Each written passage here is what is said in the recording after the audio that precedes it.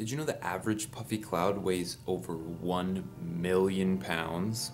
That's 40 buses, 3 blue whales, or 25 million dollars in quarters. Now how does something so massive stay drifting in the sky without an engine or wings? Well, we have to think of clouds not as giant monstrosities in the air, but as billions of tiny water particles. The average diameter of one of these water particles is about one micron across. That is 0.001 millimeters. That's really small. And since these particles are so small, the effect of gravity is basically negligible.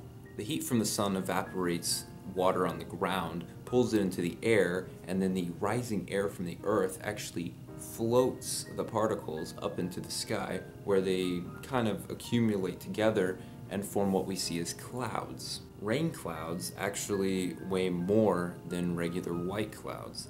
This is because they're filled with more, well, rain.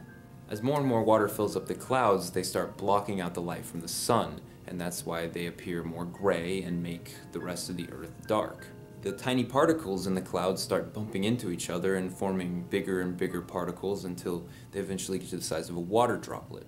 These droplets form and they become too heavy for the air to hold, and they eventually fall to earth is what we call precipitation. But how high can clouds float?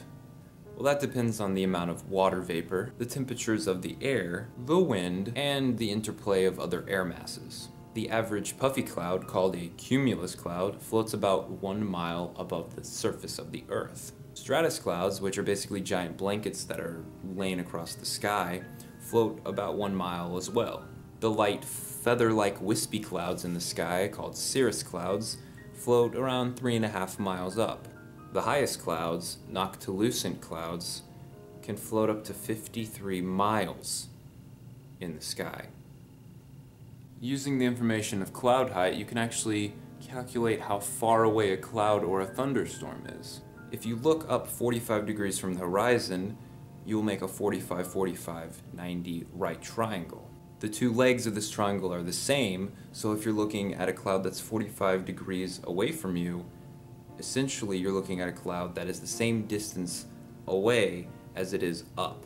So if you're looking at a cumulus cloud that's 45 degrees up, and you know it's one mile above the surface of the earth, you can conclude that it's actually one mile away from you. Given that most thunderstorms move between 30 and 40 miles per hour, you can walk outside before a storm, gauge how far away the storm is, and you can actually tell how long until it'll start raining.